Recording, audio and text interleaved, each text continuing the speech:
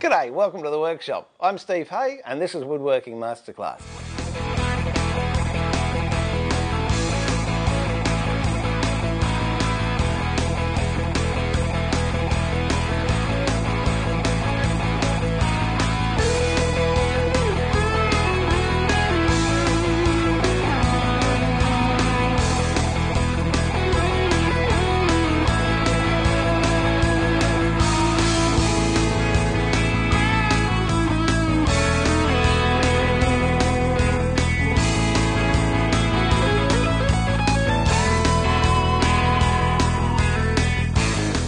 As you can tell, I haven't got an apron on. Feel kind of strange in front of the camera without an apron, but the reason being is I've just been asked to make a bookcase from someone very high up in the house and they know I'm the only one that'll do it for nothing. Oh, Bob's settled in. Look at that. He's got brand new carpet in the office as well. Dear oh dear. Tough life, eh, Bob? So what I thought I'd do is share with you the experience of drawing the bookcase working out what components I need, then actually going up to Masters at Parkinson, which is my local hardware shop, pick the timber, and we'll go through the timber racks and I'll show you what I look for when I'm buying timber. And what I want to do with this one is minimum machining. So I really just want to get the timber out of the racks at the hardware shop, bring it back here. I might have to do a little bit of trimming up or truing up, but then make it. So I'm not doing a lot of machining and a lot of sizing. So with the sizes, I want this bookcase to be 400 or 400, 4 foot high or 1.2 metres or thereabouts and about 900 wide or 3 foot wide. Now, when you go and buy timber, and we'll check it, and you buy a 1.2 metre length, I guarantee it's not 1.2 metres. It can be whatever length. So we might have to true that up, but I'm not going to get hung up on sizes. What I want to do is just get this bookcase, put it together, keep someone very happy. Then I can come back down here and do some more work. But really, I do enjoy doing it. And it's a project that those that don't have a lot of machines can easily do. So first of all, I've got to draw it up. And I've got to think how many shelves I'll need.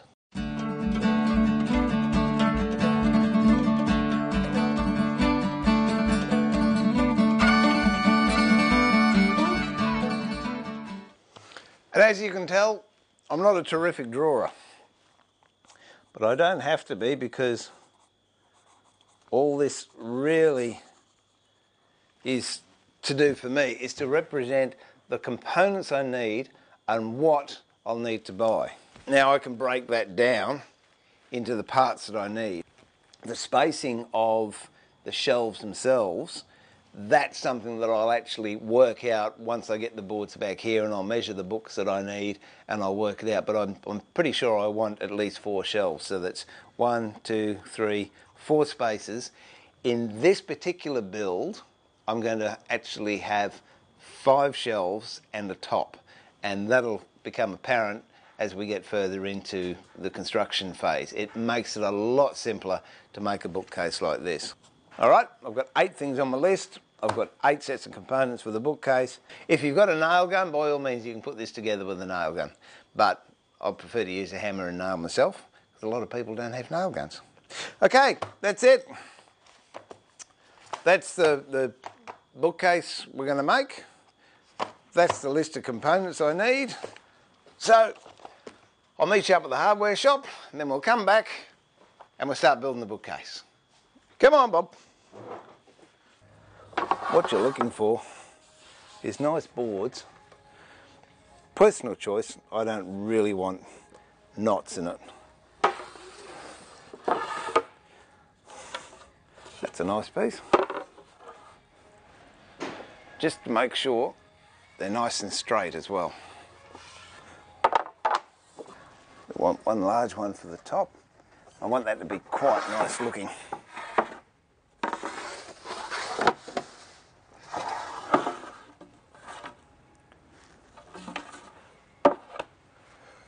Good thing about picking your own timber is you're left alone and you can sort through it.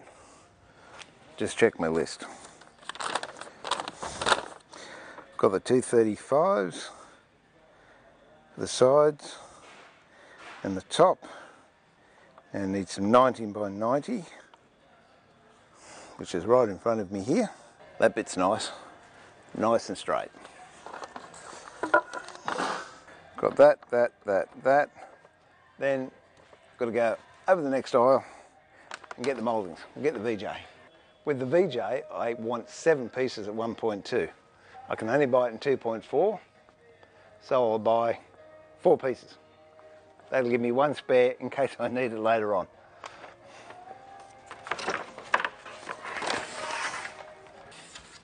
That's quite a nice profile for the skirt, so I think I'll have that one. Now I've just got to find a nice bit of crown moulding. Quite a nice crown moulding too. I think I'll have that one. Could go for a Scotia, which is actually where that's rounded. It's actually concave, but I think that'll look nice with the bookcase that I'm making. All right, go and get some nails and we're ready to go. That'll do, 40 by 1.6. There you go, just over 100 bucks and you're going to have a good bookcase. Let's go back to the workshop and we'll put it together. Okay, that's it. I've unpacked the car. Here's all the stuff I just bought up at Masters and we're ready to turn it into a bookcase. But before I do anything, I think I should go and get changed, put my apron on, grab Bob, and then we'll come back and start building the bookcase. Okay, I've got change, cleared the bench, got some timber out. Yeah, that's all right, Bob. You just get comfortable, mate. Don't worry about it. I'll do all the work. Now let's start making this bookcase. We're going to make a four foot by three foot, roughly. What I wanted to do was actually get the timber directly from the hardware shop and use it without having to cut to specific lengths. We'll just use it as it is. But there are a few things you've got to be conscious of when you do buy timber from a hardware shop. Number one, it's not necessarily square at the ends. Now these two boards, they're fairly close to being the same length. But if I get a square and put it on them, that's surprisingly good. And this is out about two mil. It's going sloping down. So what I've got to do with these, you could plane them flat with a block plane if you like, but for the ease and for the speed of the video, what I'll do is just go over to the docking saw and I'll dock these square to my fence and then we can start discussing about how to set it out and how to start making them. And along the way, there's going to be some jigs you're going to have to make, which I'll take you step by step through as well. So I'll just pop over to the saw, dock these so they're square. I'm not worried about the length. I bought them at 1200. So that look, they could be 1210. Where's the measuring thing? They could be 1210, they could be 1220. I really don't know. Okay, 1225. I'm not worried about that. All I want to do is get them square. Okay.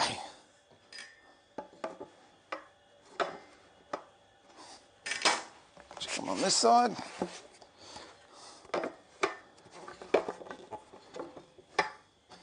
All right. So they're nice and square and they are cut to the same length and that length, I don't know what it is. As I said, I bought these as 1.2s. Before I cut it, it could be 1.235. Now it could be 1.22. But it doesn't matter because what I want to do is go through the process of making the bookcase Later on, what I will do on another video is I'll make another bookcase, not out of pine, but out of cedar or something, and I'll use traditional techniques. And there, yeah, we'll measure, we'll shoot with planes, we'll get it flat, we'll work really precise. But I guess what I want to do with this video is to show you the joy you can have in making a bookcase. You don't need all the expensive stuff under the sun. You don't need to be a fine craftsman, but you can make a bookcase that's going to be useful, people are going to love, friends are going to want you to make one for them too, and it's easy with what your local hardware shop's got. So, enough said. Now, at this stage, if you want, you can sand the timber to take the machining marks out. That's up to you, it depends how you want to finish it. Personally, I would give it a quick sand because even this bit here, it doesn't show up on camera, but I can see the knife marks where it's gone through the thicknesser. So again, if I was doing traditional woodwork, I'd use a cork block. In this case, let's use a random orbital sander. I've got 100 grit on it.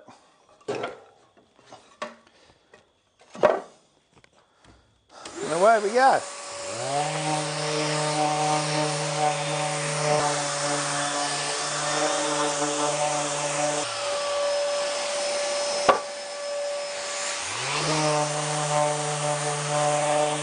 Okay, now, have a look at the clock. That took me all of about five minutes to sand that. Now, it's not a finished sand by any means. What it is, is just to get the knife marks off of the machine because if you stain this, they're going to come through and you're going to have these horizontal lines going all the way through your job. Whereas with a quick sand 100, it cleans it up. It also breaks, it, it sort of has um, a glossy feel to it, almost waxy, so it cleans that up.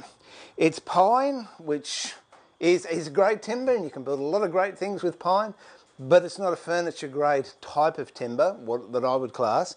So it's got marks on it, it gets bruised, it gets knocked. I'm not worried about it. And this one, I'm hoping to finish with a liming white finish. So it's going to have that shabby chic French provincial sort of look about it. Okay, what we've got to do now, we've broken the surface on that, it feels nice, is work out the dimensions that you want to have the books, uh, the shelves at. Got a couple of books here. This one would be the largest that I have. By the way, if you want to do marquetry, get a copy of that. I was fortunate enough a couple of years ago to spend a couple of days with Silas Kopf, and whoa, he is just incredible. Um, if he ever comes out for another workshop. Silas, if you hear that, you come out for another workshop, I'll be there. Uh, this is a, a, paperback size one, and these are, um, I don't know, medium size, I suppose. So we'll get some measurements going with these. This measuring stick. And by measuring stick, I do mean stick. Benno, still using it. Cheers. Hope you're enjoying those long summer nights. All right, this is 315. That's coffee table um, size, really. That one's 260. That's 230. And this is 210. So what I'm looking for, in, and it's a question of how many books you've got of what size. I want to have one large shelf down the bottom, which will take the coffee sized books and then I'll have a shelf above that that'll take the in between size, mainly hardcover. I've got a lot of books this size, so I'll have two shelves of those. Okay, now it's a question of working it out. You don't want it the same height as the book. You want enough so that you can get your finger in and, and pull it out so it's not jam tight, or else what it'll do is crease the top part of the covers here, which is not a good look. I think I'll go... Oh, before we do that, I'm jumping the gun. I'm having a skirting on this as well, so you've got to allow that first. The skirting profile I've got is this profile here, and the depth of that is 65 mil. So I've got to allow for that on the bottom of the bookcase. So I'll put a mark just where that goes. Put this out of the way before I break something. And personally, I like to have a little bit of a quirk or a little bit of a lip where the shelf comes so that skirting isn't exactly with the shelf. There's a couple of reasons for that, which I'll explain when I'm putting the skirting on, but I really am jumping the gun here. Look at your board as well. That grain pattern to me suggests that should be down. So this would be the top. To me it just makes more sense. But again, it's a personal preference. So whatever floats your boat. So this will be the bottom of I'll even write bottom on there. There you go. And work out which you want as the inside or the outside. I'll this as the inside. So what I'll do is come up the thickness of that moulding, which was 65 plus a quarter of an inch. So I'll bring it up to about 70 mil. That'll do me. And then I'll draw a line across there. That then becomes the bottom of the bottom rebate or dado for the bottom shelf. It's 19 mil, just there. Square. Pencil on the mark, move your square up to it. This line here is the top of the bottom shelf. So now we go 320 up. Mark, pencil on the mark, slide your square up to it, draw the line, 19 mil, pencil on it, slide it up. It's the next size. It's 235. So what I'll make the next shelf is 250. Now we've got the bottom shelf, the middle shelf, now we're starting to do the top shelf. What I'm going to do there is I'm going to have two shelves of paperbacks. And the paperback, that's 210.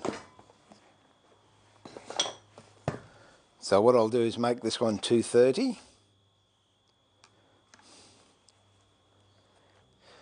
As I said, these sizes I'm using aren't arbitrary at all. You put whatever size you think you need for your books into it. You might want to put a wine rack in the bottom. And that's another thing I'm going to be doing down the track is showing you how to make wine racks. Or you might want to put a cupboard on the bottom. There's so many options, but this is just the layout. And also, I suppose, to, to show you the freedom of what you can do. You don't need to stick to absolute plans. And you'll notice when I build things now, more so than before, you don't see the finished article because you're actually on the journey with me from conception right through to delivery. And if I make a mistake, as I did, I don't know, a couple of videos ago with the box, you're right there when I make the mistake and you can see how to overcome it rather than here's one I built earlier and let's do exactly the same thing. This is, this is much, much more fun and I think the word is organic. Okay, so let's go 19.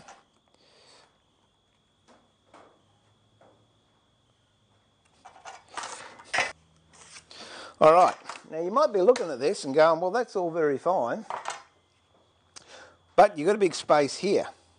That's true, but if you remember, I bought some of this stuff. This is moulded, so if you continue these lines, it's actually 90 degrees. So I've got to work out how much I'm going to need for that. So I'll work in reverse. I'll pretend this is the actual top and this is going to be the stretcher going from side to side. How much do I want? I reckon that looks pretty good. Okay, that's 60 mil. So if I come down 60 mil, and that's just the right size for that book. Now, as we did with this bit, the other side, work out what you want on the inside. It's got a mark on there, so I'll have that so it's hidden on the inside. And I don't know if you can see on the overhead shot, but these are a little bit um, bowed or a bit of a dip in it on the long side, but I'm not worried about that because I just want to, as I keep saying, I just want to make a great bookcase without going too technical on you. And believe me, in my time, I've made thousands. I used to run a big workshop and we made thousands. Get a longer square if you've got one. And now, just transfer these lines here over to here. Well, I think that's a great time to wind up part one of making a bookcase. I'll continue to take those lines across, and in part two, we'll start to cut the dados. I'll show you four or five different ways, some with power tools, some without power tools, and some ways with a mix of both. But until then, this is Steve pulling the shed door down on another part of another project and saying remember to keep it sharp, but more importantly, keep it safe. And as a matter of fact, talking about safety, some of you have noticed I've got a bit of a scar here. I just had skin cancer removed. Now, it showed up because I have regular skin checks. So I'd urge anyone out there, if they're available to you, get skin checks. They are really worth your time. But it's all good, all gone away, so I've got plenty of years of woodworking left in me. So remember, enjoy your woodwork, and I look forward to having you in the shed for part two. But until then, if you like what we do, please like us on Facebook or join up the e-workshop at Woodworking Masterclass, and I've got some announcements coming along with what we're doing with that soon. So, till part two, take it easy. See you soon. Bye.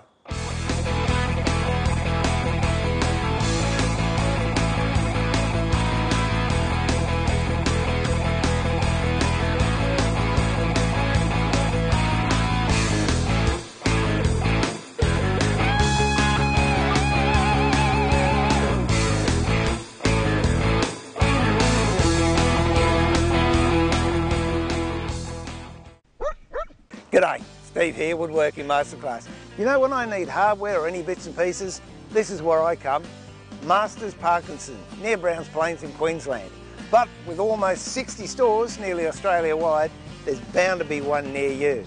So why don't you do as I do, go to Masters for your hardware. And if you see me in the Parkinson store, say good day.